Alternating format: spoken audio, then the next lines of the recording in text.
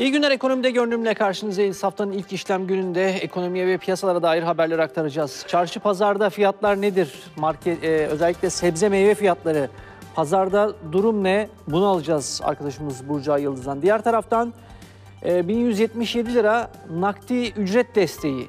Biliyorsunuz ücretsiz izne çıkarılanlara nakdi ücret desteği veriliyor. Onun dışında başka kişilere de veriliyor. Bunların ayrıntılarını da Ahmet Kıvanç bizlere aktaracak. Önemli konular var. Önce e, tüm dünyada ve Türkiye'de koronavirüsün etkilerini konuşuyoruz. Ekonomiye etkisini konuşuyoruz. Fabrikalar kapandı, işletmeler kapandı ama yavaş yavaş böyle bir e, nasıl diyelim biraz açılma söz konusu. Fabrikalar, işletmeler açılmaya başladı. Biraz e, bu koronavirüs karantinasının ha, hafif hafif kademeli olarak gevşediğini görüyoruz. Diğer taraftan bugün mesela kabine toplantısı var. E, bakalım Türkiye'de 20 yaş altı 65 yaş üstü için bir, e, bir gevşeme olacak mı? Ee, diğer taraftan 1 Mayıs ve hafta sonu birleşecek mi? 3 günlük yine bir e, kısıtlama gelecek mi? Bunlar bunlar da bekleniyor ama bir diğer yandan bakın Türkiye'de üretime başlayan otomotiv fabrikaları var. Anadolu Isuzu, Honda Türkiye, Hyundai Assan, Karsan, Mercedes-Benz Türk, Otokar, Türk Traktör, Oyak MAN Türkiye, diğer e, otomobil firmaları da Türkiye'de faaliyet gösteren firmalar da e, Mayıs ayında yavaş yavaş devreye girecek, açılmaya başlayacak. Toplam çalışan sayısı bu fabrikalarda 25 bin, 26 bine yakın önemli. Yavaş yavaş e, tabii ekonominin de çarklarının dönmesi gerekiyor. Diğer taraftan alışveriş merkezleri açılacak mı e, yeniden kontrollü bir şekilde bu da konuşulan konulardan bir tanesi. Diğer taraftan e, bir haber Denizbank'tan Türkiye Odalar Borsalar Birliği nefes kredisi. E, COBİ'lere yönelik nefes kredileri kamu bankalarından gelmişti. Özel bankalar da buna katılıyor. Türkiye Odalar Borsalar Birliği'nin nefes kredisine e, TOP ve KGF işbirliğiyle TOB'a bağlı oda ve borsa üyesi COBİ'ler bu krediden yararlanacak. Peki ne kadarlık kredi? Üst limit 50 bin ile 100 bin lira arasında. 6 ila 8 ay süreyle ana para ve faiz ödemesiz 6 veya 8 ay e, ana para ve faiz ödemesi olmuyor. 12 eşit taksitte %7,5 yıllık faizle oldukça düşük bir faizle e, bir nefes kredisi COBİ'lere Buna ilişkin bir protokol bugün imzalanıyor. Şu dakikalarda imzalanıyor. Bu önemli. E, Denizbank burada devrede e, bu kredide. Devam edelim diğer haberlerimizle. Dünya Bankası'ndan Türkiye'ye kredi, acil Covid-19 sağlık projesi kapsamında kredi sağlandı. 100 milyon dolarlık bir kredi onaylandı. Kredi 5 yılı geri ödemesiz e, şekilde olacak. Bu da önemli. Ee, özellikle e, pandemiyle mücadele konusunda sağlıkla ilgili etkileri, önlemleri e, arttırmak için yapıldı. Japonya önlemleri genişletti, parasal genişlemeye gitti. Tahvil e, alım limitini kaldırarak parasal canlandırma önlemlerini genişletti. Şirket tahvili alımlarını yaklaşık 3 kat arttırdı. 20 trilyon yine 186 milyar dolara çıkaracak. Diğer taraftan e, bu hafta önemli Fed'in ve Avrupa Merkez Bankası'nın toplantıları var. Bu toplantıların da e, piyasalar etkisi konuşuluyor. E, onu ona bakacağız. Bu da önemli. Çarşamba günü FED, Perşembe günü Avrupa Merkez Bankası. Ama e, FED'den bir adım beklenmiyor. Avrupa Merkez Bankası'ndan tahvil, tahvil alımlarını arttırması bekleniyor. Piyasalara bakalım. E, Japonya'nın etkisi var. O parasal genişlemenin etkisini görüyoruz piyasalarda. Moralli başladı. Diğer taraftan ekonomilerde yavaş yavaş açılma, e, ülke ekonomilerinde yavaş yavaş açılma. Mesela İtalya 4 Mayıs'tan itibaren fabrika ve şantiyeler açıyor. Almanya'da biliyorsunuz e, marketlerin bir kısmı e, metrekaresine göre kitapçılar, diğer taraftan otogalleri açılmaya başlandı. Amerika'da eyaletler bir bir açılıyor. Bunların etkilerini görüyoruz. Ekonomide canlanma e, emareleri piyasalara yansıyor. E, Borsa İstanbul %2'nin üzerinde. Bakın 100 bin puan üzerine çıktı bir buçuk ay sonra. Dolar TL 6.97. Dolar TL hala 7 sınırında yakın seyretmeye devam ediyor. Euro TL 7.56. Euro dolar 1.08. Euro dolar karşısında güçleniyor. Faiz 8.83. Altın onsu bir miktar gevşedi. 1717 dolarda. Petrol fiyatlarına baktığımızda gevşeme var. Brent petrol 20 dolar seviyesinde. Bir de gram altına bakalım. Gram altında durumda 385 lira gram altın. Ee, hala yüksek seviyelerini koruyor. Bunu belirtelim. Şimdi e, küresel ekonomide, piyasalarda durum bu. Şimdi cebimizi ilgilendiren bir konu, cebimizi ilgilendiren konulara geçiyoruz. Koronavirüs günlerinde gıda harcamaları arttı. Ee, bu gıda harcamalarının artmasıyla birlikte diğer taraftan Ramazan ayı da başladı. Hem Ramazan ayı hem koronavirüsün etkisini pazarda durum ne onu öğreneceğiz. Burcu Yıldız e, bizi bir semt pazarında İstanbul Şişli Feriköy semt pazarında bekliyor. Bize fiyatları aktaracak oldukça da kalabalık gözüküyor.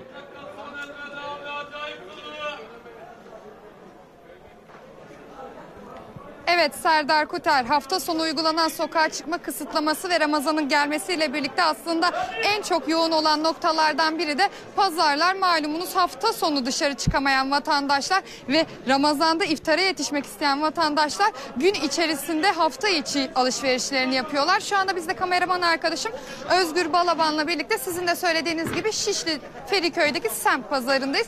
Fiyatlar nasıl? Buradaki atmosfer nasıl? Hep birlikte bakacağız şimdi. Biliyorsunuz koronavirüsten sonra özellikle doğal antibiyotik olarak görülen sarımsağa ilgi fazlaydı. İşte bu yüzden de aslında sarımsakta da bir fiyat artışı yaşandı. Hemen size şöyle göstermek istiyorum tezgahından. Görüyorsunuz taze sarımsak ve e, ta, Kastamonu Taşköprü sarımsağı burada. Bu sarımsaklar şu an 20 liradan satılıyor ancak geçtiğimiz haftalarda 15 liraydı. Yani yaklaşık 5 liralık bir zam geldi sarımsaklara. Bir diğer önemli e, zamın geldiği e, önemli üründe muzlar. Oraya da gö- göstermek istiyorum. Bakın şu anda tezgah fiyatı 13 lira. Muzun ben hemen buradaki pazarcılara da sormak istiyorum. Nasıl bir artış yaşandı? Efendim merhaba kolay gelsin. Sağ ol. Anda muzun kilosu 13 lira. Nasıl bir zam geldi? Daha önce fiyatı nasıldı? Bu hastalıktan önce 10 liraydı muz. 10 lira 9 liraydı. Şimdi halda muz 12 lira. Yani halda muz 12 lira. Biz fazla bir fiyat koymuyoruz şu anda muza. Yani Yani bir 3-4 liralık bir fark var. lira fark var evet. Fiyatlarda düşme olacak mı yoksa böyle mi devam edecek? Zaten muzun sezonu bitiyor yani. Bu normalde kış meyvesi. Muz olsun, elma falan olsun, armut bunlar kış meyvesi. Fazla artış olunca, fazla şey olunca ister istemez fiyat yükseldi. Zaten bunların elmadır, armuttur, muzun düşünün. Burada iki haftalık falan bir 10-15 günlük bir ömrü var. Ondan sonra yaz meyvesine geçeceğiz. Çok teşekkür ediyorum. Kolay gelsin. Evet e, hem sarımsakta hem de muzda fiyat artışı var demiştik. Özellikle sarımsakta 5 liralık bir fiyat artışı var ancak sadece bunlar değil bazı başka ürünlerde de fiyat artışı net bir şekilde görebiliyoruz. Onlardan biri de aslında domates, e, patlıcan ve kabakta net bir şekilde görebiliyoruz. Hemen ben e, tezgahlar arasında gezerken size buradaki atmosferi de anlatmak istiyorum. Bir hayli yoğun burada pazar.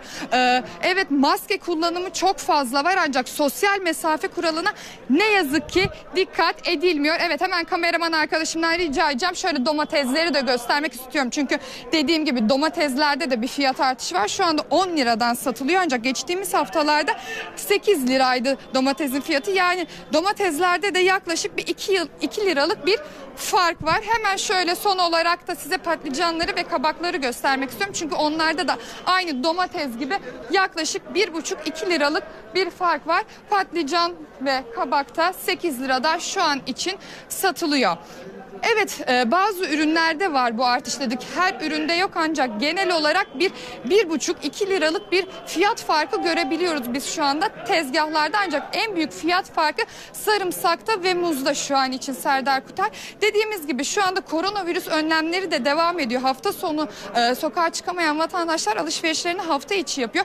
Bu yüzden de aslında hafta içi pazar yerlerinde de bir hayli kalabalık var. Şu anda e, son olarak buradaki atmosferi de size bir kez daha söylemek istiyorum. Market ve pazar yerlerine maskesiz giriş yasağı olduğu için buna uyuluyor. Ancak sosyal mesafe kuralına ne yazık ki pazar yerlerinde uyulmuyor. Serdar Kuter.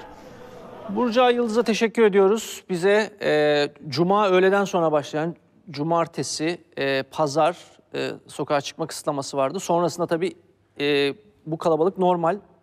Haftanın ilk günü e, kısıtlama sonrası ilk gün olduğu için e, bir kalabalık göze çarpıyor. Ama fiyatlarda da özellikle mevsim geçişi olduğu için e, patlıcan, e, kabak, diğer ürünlerde sarımsakta mevsim geçişi olduğu için orada da fiyatların artma, arttığını görüyoruz. Şimdi e, bir diğer önemli konu ücretsiz izne çıkarılanlar ve başkaları kimler? Kimler var? 1170 liralık e, nakdi destek. Bunu konuşacağız. Habertürk yazarı Ahmet Kıvanç karşımızda. Ahmet, e, 1177 liralık nakdi ücret desteğinden kimler nasıl faydalanacak? Sadece ücretsiz izne çıkarılanlar mı faydalanabilecek?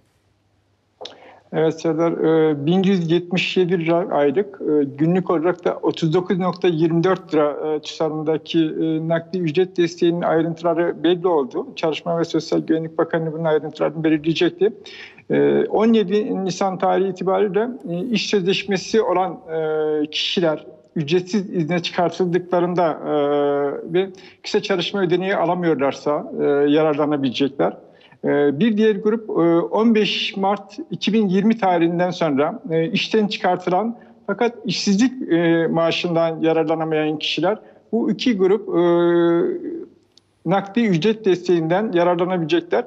E, bunların başvuru yerleri e, nasıl olacak e, onu anlatmak istiyorum. E, e, Ücretsiz izne ayrılan e, işçiler için Sosyal Güvenlik Kurumu işveren e, sistemi üzerinden işveren e, başvuruda bulun- bulunacak. Ücretsiz izne ayrılan işçiler için işçinin başvuru yapmasına gerek yok. İşveren başvuruyu ücretsiz izin uygulamasını takip eden ayın 3'üne kadar yapacak Sosyal Güvenlik Kurumu'na.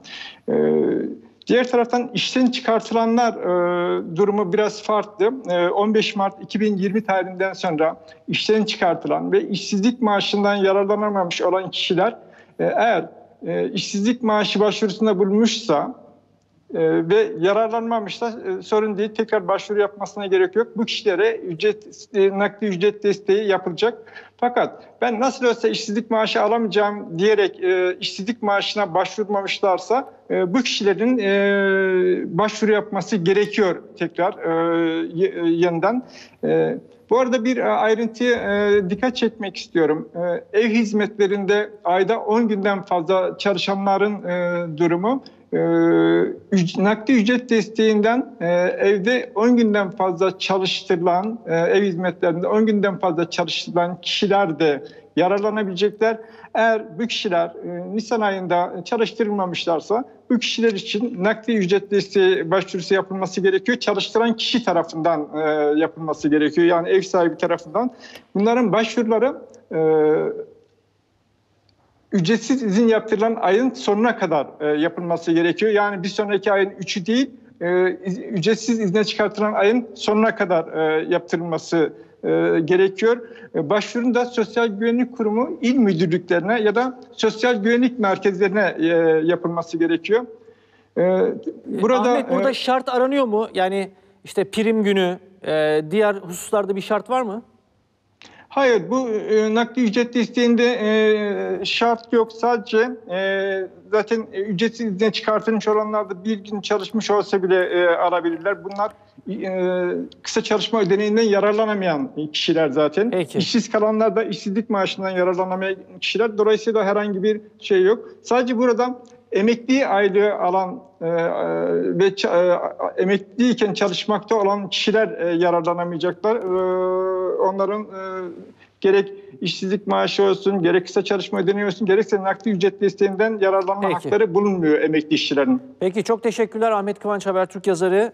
E, 1177 lira bürüt e, nakdi ücret desteğiyle ilgili ayrıntılar belli oldu. Onları bize e, aktardı.